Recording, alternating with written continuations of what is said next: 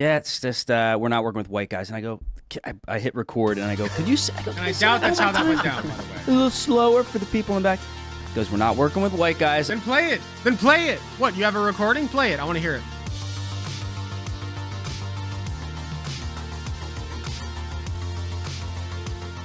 Now, this may come as a surprise to some of you, but I have seen Lady Ballers.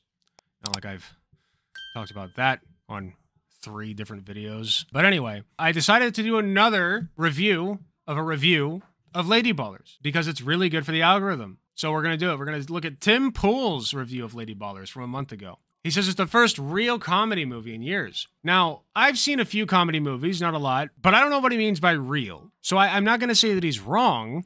I just don't know what he means. So let's see what he means because I'm very interested in his take.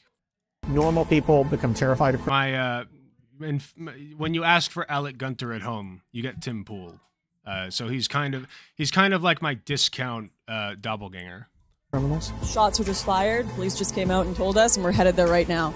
They become terrified of their own government. Juwanna Mann was that movie. It was good. That movie I was never- I've fun. never Wait, seen hold it. on. I'm- What was this thing at the beginning? I, I kind of just ignored it. Okay, it's just advertising for Timcast. I'm never going to see it. I remember I, I'm like, when did Evil that movie come Alec out? Gunter be 2000 like- something. It's better than Shawshank 2000. Redemption. Dude. It's, what's it? What's it about? Juwanna Mann? Never heard of it's that. about, you never seen. it. It's about a guy that pretends to be a girl so he can play in the. He's an Well, NBA player. And he's a, Oh, and he I gets heard of it. I canceled, heard and then of he. Right. starts He- playing he- the he women's. like- yeah, you know the, wo- the the movie they ripped off completely and obviously. What does he do? He like he like hits somebody or something. I forget why he got in trouble, but he got suspended, and then he still wanted to play. and Yeah, they're like you're suspended indefinitely, and he's like, "What do I do?" I know, and then he puts on a wig and like fake boobs, and then it's like the gag is he's crushing the women, he's dunking and Whoa. super good. Well, it's but so but the- funny, the, premise bro. there was he's cheating, he's Yeah. lying, Right. and I understand. Yeah, because it was a different time and we had a different understanding of what it means to be trans. There aren't people putting on f***ing wigs and going and competing in basketball against women, and to the extent that they are, it's not officially uh, allowed or mandated, or not mandated. Uh, uh, the other word, different word. You know what I meant? understand that that's a similar premise in a way. Endorsed. But Lady Ballers, it's the political of you can be a woman if you want, Yeah. And so with Juwanna Mann, no one knows he's a man. With Lady Ballers, they're just a bunch of males being like, we're women now. And then right, and then seeing the crowd be confused. Oh, that's the confused. difference. How Got do it. are we supposed to support this or not?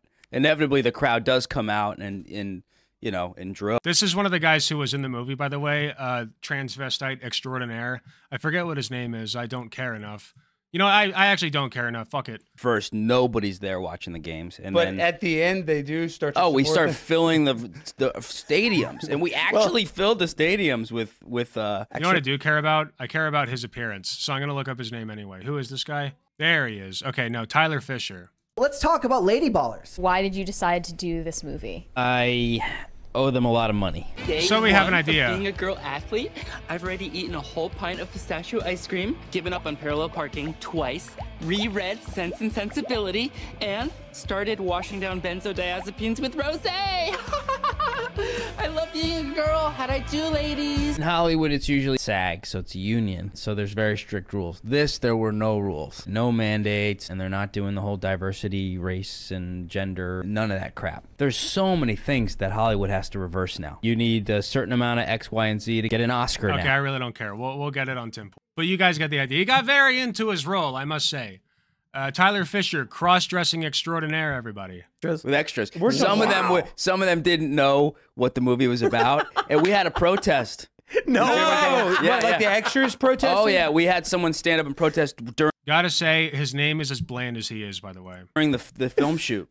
They're like, oh, I'm against this. you Yeah, know? yeah. And, but this was Nashville, right? And these were like Daily Wire fans coming out, so they just shut. They were like, "Fuck you!" fuck you, Wow. Shut up. Yeah. Oh, Was my- it like a gender Oh, fluid they lesbian the or something that yelled, or was it just I like? think so. Oh! Yeah. And then every day it'd be. Extras for protest. I'm gonna Yeah, come! Yeah, yeah, yeah. But it was so funny because one person was like, "This is not okay," and everyone's like, "Shut the fuck up." Yo, and they that's just dragged them out, and then every day we had protests outside. No. Yeah, yeah. They literally had internal conflict because they were not honest with people that they hired about what they were doing. And then when those people realized, they quit, just so you all know. Every day really shooting? How Yeah, did we not know this that? movie was coming out? Yeah. I don't know. I don't know. And then we sent out uh, uh, Billy Ray played a, a Yeah. newscaster. We sent her out in character to interview these uh, the protesters. Did that it make in the movie? Uh, they no, it should have. It should have. Oh man. Oh, dude, I'm sorry. I'm trying to hold back It so much after should've. hearing that you your extras protested you. I'll be honest with you guys. I don't see the point in protesting this shit anymore. They're just looking for attention. They're looking for uh, video grabs. Like, I don't know. Just ignore them. Just pretend they don't exist until they force their way into your lives and then point out that they're forcing their way into your lives. You know, like with the laws. And obviously, you can't ignore the laws, right? So go out and protest those. But protesting a movie, like, how much money did it make? Here, let's take a look. I never even looked at that. 0.2 million? That's 200,000. Meta has made over 1.6 million dollars from ads for the Daily Wire movie. That's insane. during your movie. and if you've ever been an extra on a movie set, the Point is, I just don't see the point in protesting this shit. If it's a law, protest it obviously. But if it's something as inconsequential as a movie that literally nobody saw or cares about, forget it. Just forget it. extras I think they're just as important as the main actors, you know. So that that that kind of makes It's a sense. tough that- gig, man. Well, but Yeah, I'm just saying I yeah. can see somebody standing up like I'm an I'm going to be a future actor. Like I'm standing up for you know trans rights. Like you and know, nobody cares. nobody We're doing a cares. They're comedy definitely in the red. The fact that they have not been bragging about how much money the movie made should tell you everything you need to know. movie, dude. Calm down.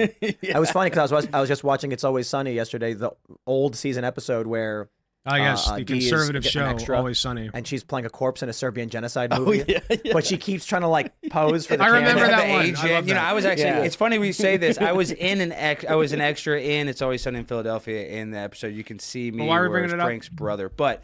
That is true though. Wait, you were in- you were- you were- I was actually in an episode of It's Always Sunny, and I was in What? an episode of The Office. Yeah, What? both of them. When I first Hold on, hold on, hold on, hold on. first moved to LA, Let me, let me, let me I, explain. uh, I was an extra. I didn't have a job. I An moved to Los extra? Angeles. Oh, Featured okay. extra? Well, yeah, in both of them, I was, Once again, failed actor. There you go.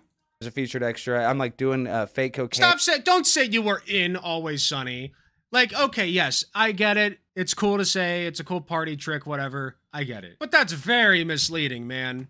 You were in one episode of Always Sunny as an extra. Shut the fuck up. Get out of here, you loser. and I'm dancing Loser. at this gay bar. I'm in. in, in, in It's Always Did I Sunny. tell you guys And it was I an don't Always Sunny? episode it is. yeah, Oh! that was a Frank's brother's episode. And then Frank's and, and then type in this. You'll Probably see me. didn't I'm even in the fucking thumbnail. talk you to can the main type, Go to the office and type in Michael Scott's last scene, and you'll see me standing next to Michael Scott. But my point is, I didn't have a job, so I moved to LA, and my buddy's like, "You should go to Central Casting." Then I worked as an extra for like four or five months, and then I got a job as a production assistant on some Food Network shows, and you know, it just kind of. Oh, so for some food now, you know, food now. Okay, buddy. Okay. Was- Just when say you're a failed actor I next gotta, time. I gotta, it's I easier. gotta go watch that later, and, and we're gonna like sit there and wait and be like, there he is. I'll show Did you. you I'll sneak on? I feel like you No, I was on. on. No, I was casting. Well, I, this is the thing. People Damn, don't realize too. is if you look young, there's uh, they don't hire. They don't want to have kids on set, so it's Yeah. called 18. Today if I you, feel you Oh, yeah, younger yeah. than 18. Um, and so I got all these high school roles. So like I didn't even know anybody, and all of a sudden, but you made like a hundred bucks a day, literally. And after taxes, it was like 80 something. Um, so it I don't know what it was for but it was cool to go on the set, and that's where I met people. And then I ended up getting jobs later on from. Right on. And then something happened. Jobs like what? They must have been very lucrative, buddy. If the if the highlight of your acting career is playing an extra for one one episode on Always Sunny, I got news for you. Probably time to find some other work. Your brain, and you turned into this. And then yeah, I just I got I got in a bad car accident. I got amnesia, and now Wait, I don't really? even know who I am. Drank the coffee, that's what it yeah, is. that's what it was. That Yeah. Cast Brew Oh, never mind. coffee. Well, we're gonna be filming a Cast Brew commercial with with uh, Alex, and if Tyler wants to. Sure. do it. Extra Yeah.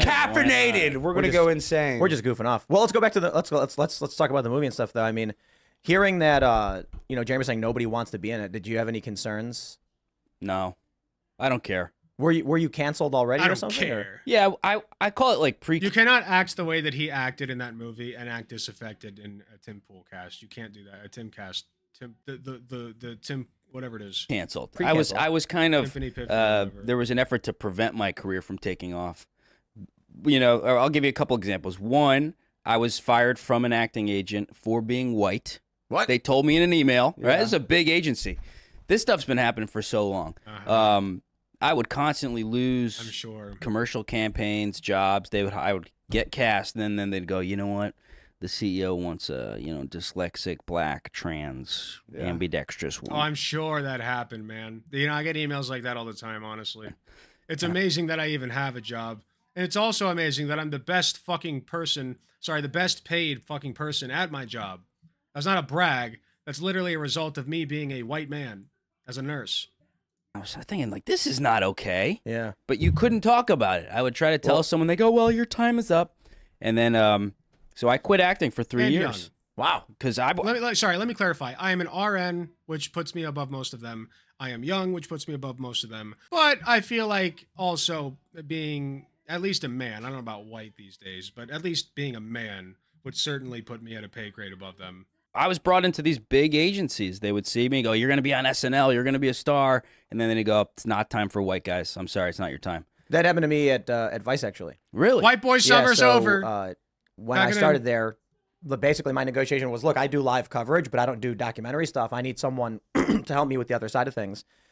So if I go out and live stream this big news event, can you send a camera guy to film me doing oh it? yeah, We can make a true. doc- No, thank you, Transitory, in the chat. No, I'm sure. Uh, Transitory uh, openly stated. I, apparently, I was wrong because Transitory is a trans woman. Gets all kinds of requests from jobs all the time. She she just can't keep up with all of them, really. And honestly, she has her pick, uh, cream of the crop, really. And and she makes millions. She's a millionaire, and she should donate to me more. Is actually uh, what's going on there. make a mini doc that Mm-hmm. captures, and then we have the live coverage at the same time. It's like two birds with one stone. Mm-hmm. They said yes, and then eventually, um, I, I do think it's fair to say I had no experience doing doc stuff, and so I'm not going to pretend like I was the greatest person for the job.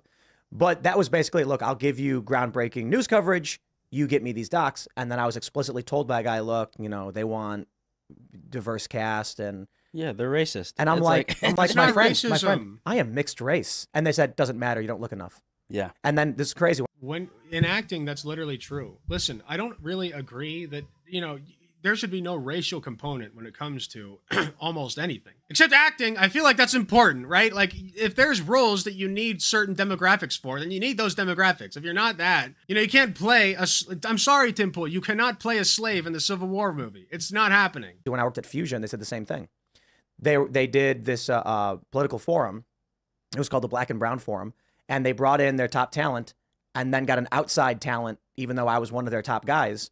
And I asked them, I was like, "Is there a reason you guys went for outside talent?" They got, they got a, a black guy, a, fa- a famous comedian, mm-hmm. and they said, "Well, it's the Black and Brown Forum, right?" And I'm like, "Yeah, I know. I'm mixed race. I'm like, I'm part Asian. Like, do not do I not get a say?" And they're like, "You look too white. Have a nice day." It Yes. really doesn't matter. It it all matters on what you look like. Well, it doesn't matter if It's, you. it's funny you guys say this, and I don't even know if you've known this, Tim, but I actually worked for the t- Also, by the way, I agree that there's like a lot of liberal overhead with like uh, you know representation or whatever. I agree that sometimes it's a little silly, and they'll like pull you like they do have like weirdo office meetings for like diversity and inclusion and shit that don't ultimately mean anything. I agree with all of that, but you know when it comes to acting. You do kind of need diversity in your roles. I agree that we need di- like sometimes you got to force a little bit of diversity when it comes to like media, pop culture. Okay, you have to. You know why? because those demographics exist in your population. I'll also add this: there is not nearly enough Hawaiian popul- uh, uh, representation in Hollywood, and I've talked about this before.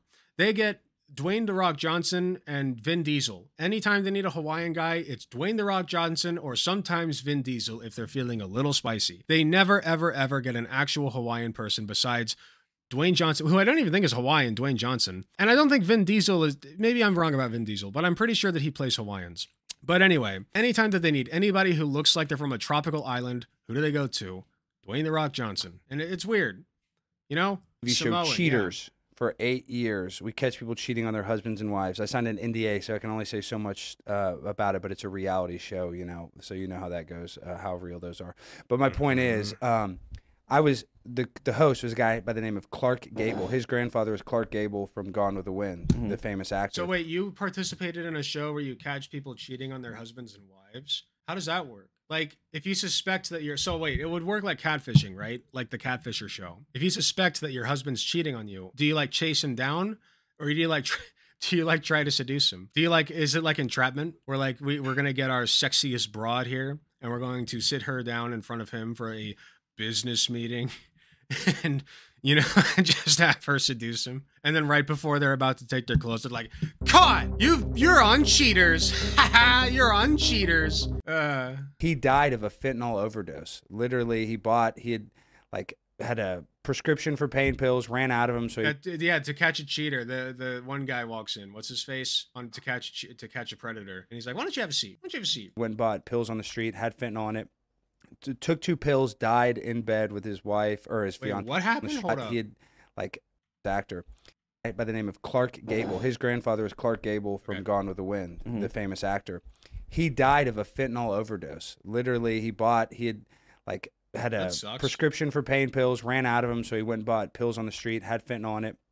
T- took two pills, died in bed with his wife or his fiance at the time and his 19 month old baby. Man, that's interesting. I wonder if there's any policy prescriptions that would help with that.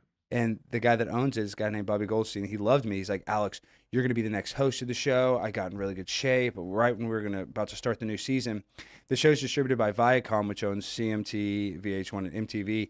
They said, You're not going to be the host anymore. You can still be one of the producers. We're going to go with this guy named Peter Gunz, who's a black dude. And they, they, the reason why I know it was an affirmative action hire, they made him change his name to Peter Pankey because they didn't want to glamorize gun violence. Whoa. Yes, that was I need to listen to that one more time. guy named Peter Gunz, who's a black dude, and they they the reason why I know it was an affirmative action hire, they made him change his name to Peter Pankey because they didn't want to glamorize gun violence. That's how they know that it was a wait. That's how they know that it was a diversity hire. No, the whole okay. So the whole idea behind diversity hires, quote unquote, to the extent that they exist, and they certainly do, but not you know it's not that big of a problem. But you know the idea, right, is that you have an incompetent person of a race that is not white or a gender that is not male, etc., doing the same job that somebody of a male gender or white race could do, right?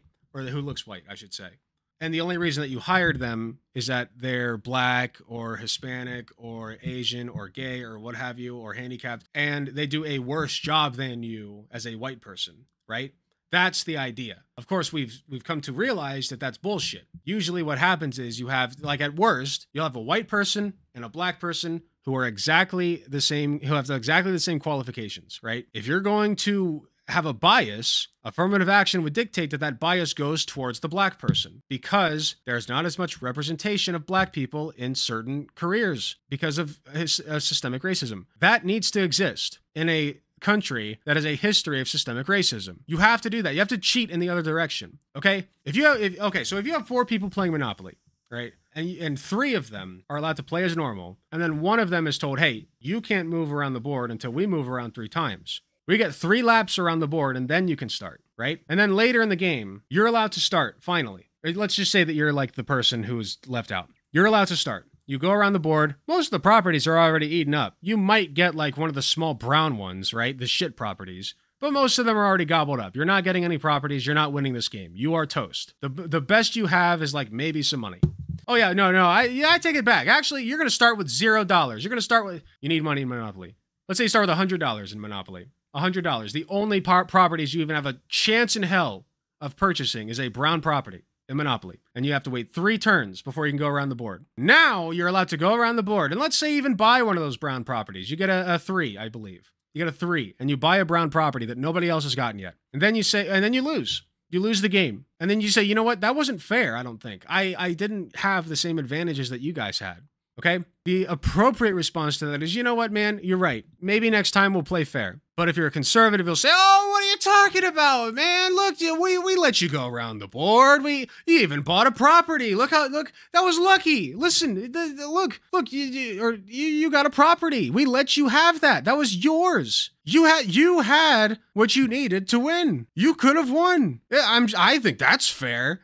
That's what conservatives think. That's how their brain works. When in reality, if it's been three turns and then somebody, let's say mom walks in and mom says, Hey, this isn't fair. You guys need to let him go around the board three more times. And you know what? I'll even go a step further. Let's take a property from each of you and give it to this person. Take a property from each of you and give it to them and also give them $100 each. That's not very much. Just $100 each and give it to this person because you were very unfair to them. I think that's fine. It's cheating. It's it's literally cheating the other direction, but you have to do that. You know, too much avocado toast to win Monopoly. True, we're all socialists now. In the socialist version of Monopoly, it's very boring because everybody wins. Whoa. Yes, that was What? his name, Peter Whoa. Gunz. And so, so what happened was I was so dejected. I was so sad. I was like, man, I'm about to make $140,000, which to me at the time to do this, you know, work six months out of the year was like awesome. I was so excited. Because I was actually come, making close to that as a producer, but I had to work a lot harder than just be the host.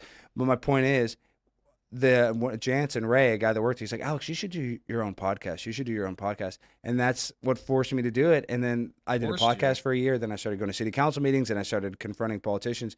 So for me, getting canceled because This guy's going to city council meetings, just so you know. you can also do what he does. You can go to city council meetings and bring up your grievances. If you want to tell them about a sidewalk that's bad, or you want to tell them about not being able to afford your medication, you can just go there and tell them that. You can tell them, hey, I have ass cancer and I can't afford chemo. I'm just letting you guys know that I'm going to die of ass cancer in three years because I can't afford chemo. And this is happening under your jurisdiction. Thanks. Bye. Like, you can do that. That is allowed. Because of affirmative action was a blessing in disguise. So basically, you know, you, you had this moment where you snapped and you're you just you're punching holes in walls and you're ah, and this is what made Alex. I mean, this is like a affirmative a, action. a, a supervillain origin story, I suppose. Affirmative action. yeah, what it was, It was an affirmative affirmative action movie. yes. So, but it, like you the said, same thing happened to me. That's what I'm saying, essentially. all I was bad so things, it was it was so much dominating. anger. Like I was just uh, like What was an cornered. affirmative action movie? What am I gonna do? So it just all started pouring out. Started making videos and all that stuff. But but I have a lawsuit uh, at with the Supreme Court for another acting manager who called me and said they wanted to to represent me, and then he called me back and he said. Um, we really want to work with you. We're no longer working with white men. No way. And I recorded it. I, Yeah, right. I was sitting at my podcast, um, Yeah, these poor guys. and I didn't think that was gonna happen. sitting here in the air conditioned probably not enough though it probably still stinks but the nonetheless the air conditioned timcast office uh, and afterwards they'll probably go skating or uh, whatever else uh, probably have a fucking uh, private jet they fly out of the basement or something these poor men I was like, you know, he's like, we're gonna get you on Curb Your Enthusiasm. We're gonna, we're gonna get you on SNL, the same old shtick. And then he goes, yeah, yeah because a manager's supposed to tell you that shit that's how they you got tricked all you're saying is that you got tricked okay managers do that shit to get you in their clutches and take a little bit of your money okay all you're admitting to is that you got duped that's all that's happening here yeah, it's just uh, we're not working with white guys. And I go, I, I hit record, and I go, can you? I go, and i doubt that's how that went down by the way A little slower for the people in the back. Goes, we're not working with white guys. Then play it. Then play it. What? You have a recording? Play it. I want to hear it. And I said, is that company policy? And he goes, yeah. what about gay white guys? Wow. I don't know. Maybe. That's what I'm Gee, maybe if you wanted it that bad, maybe you should have been gay, huh? Say, I Well, wonder if that cat like, just like I wonder if you were gay. Not hard. that You You should have just said, are, are you Slavic or Eastern European? Am I? Yeah, a little bit. Because I. I, I, the Coalition for Communities of Color says that Eastern Europeans are people of color. Really? Yeah, bec yeah, for real. They do.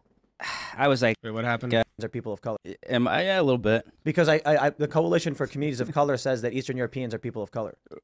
I mean, it's sometimes, yeah, but like it's just a matter of okay. So it, it's color. Color in society is a very social construct. Like it, it doesn't have a finite set of rules. You know what I mean? Like again, Hassan Piker is white passing. Okay, but if you look at his just his name, you can tell he's from Turkey and he's probably is uh, is uh, Muslim. Okay, which he which he's an atheist, but he's like you know he's from an area full of Muslims and whatever. So you know he's from a Muslim family, but you can only tell that by his name. He's very white passing. If you saw him in public, you'd think he's a white guy. So like he wouldn't be like they would probably tell him the same thing as hey listen you you look too white for this role. You know Hassan Piker. Oh sorry right Saka to me. Hello Tina. Really? Yeah, bec yeah, for real.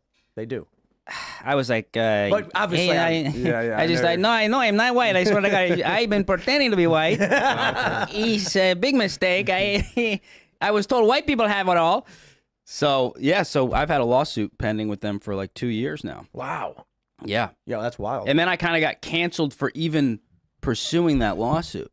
You know, I, I put it on Twitter, and then I got obliterated. You're racist, white guy, screw. So I'm like, you, you can't win. You have to do your own thing. Do you have representation now? Did you find somebody? Oh yeah, I've, I've- Okay, yeah, I got I got a lawyer two years ago. We we um we're uh, I think waiting for the deposition at this point.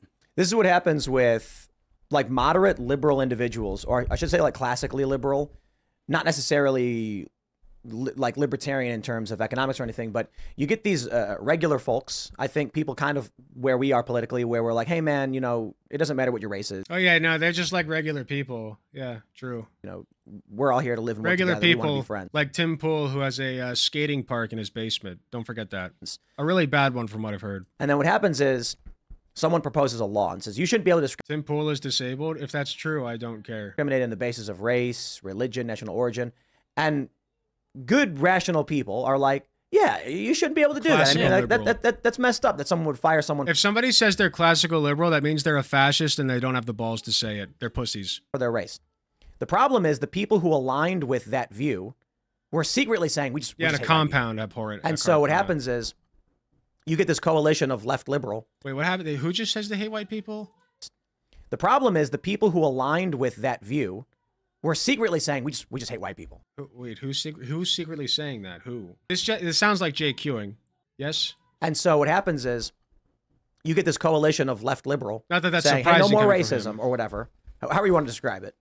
And then as soon as that law is in place, the left says, okay, now no white people either. The two most prominent political streamers, Hassan Piker and Vaush, are both either white or white passing. Leftist streamers, I should say, political leftist streamers. They're either white or white passing. Like, there's no planet on which white people, like leftists, like true socialist, leftist, progressive, whatever, say you can't be here because you're white. There are weirdos that do that, but they're not part of the broader leftist movement. And people who are part of the bro- broader leftist movement, the socialist, uh, progressive movement, what have you, would exclude those people because they're dumbasses and they're hurting the cause. I've never And seen so now go. those who are in the middle, like us, who are just, hey, racism is bad. I don't care who you're attacking Yeah. based on the color of their skin or whatever. It's not a good thing. Oh yeah, sure. No. now yeah. you have the left being like, nah, we were always okay with Listen, I know that there's a subjugate a history of subjugation of a huh, certain race. I wouldn't say which because I don't see color, but I know there was like a history of subjugation in this country for that. But like that's it. But, but like, listen, you don't be racist against white people either. I mean, you know, we've had it pretty. We've we've had our fair share of trifles and tribulations in our time. Did you know that yesterday I spilt the mayonnaise from my sandwich, and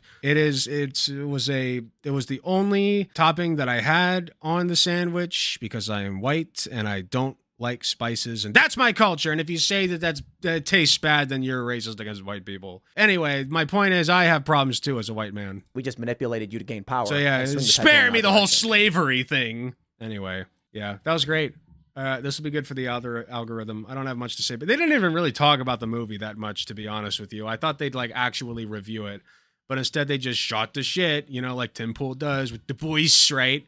With the boys. He's such a lameo. I don't know why people watch him, man. Hey, thanks for watching. If you enjoyed the video, please be sure to hit the like button, subscribe if you want to see more, hit the notification bell to be notified when I upload. If you uh, enjoy my content, you enjoy what I do, I really appreciate any financial help that I can get. Go to youtube.com slash alecgunterttv slash join. You got some awesome benefits such as seeing early videos, awesome emotes that you can use in the comments of YouTube videos, and a sweet badge next to your name. So if that sounds interesting to you, I'd really appreciate if you join. It is cheaper than the cost of a blowjob from your mom. So with all that being said, thank you again for watching, and I'll see you all in the next video.